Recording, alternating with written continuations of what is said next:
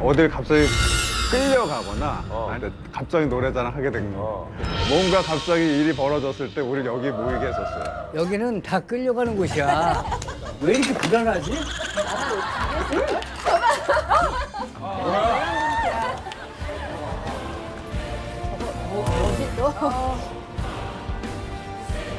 어, 불타는 청춘? 많은 분들이 사랑해 주셔가지고 우리가 여기까지 왔는데 그분들한테 3주년 기념으로 요리를 대접해주면 어떨까? 햄버거는 어때요? 한 사람당 100명씩 커버하는 거야. 3주년이면 3천 해야지. 3만 가 그냥.